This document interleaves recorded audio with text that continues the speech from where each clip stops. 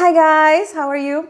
Então, ainda na leva da dica do último vídeo sobre o some e o N, aquela da lei divina que some para afirmativas, N negativas e interrogativas, a gente vai ter a variação do somebody, something e o somewhere, anybody, anything, anywhere, any qualquer coisa, na verdade. Então, sim, vai acarretar essas palavras também, né? Se vocês quiserem dizer um, alguém me ligou, somebody called me.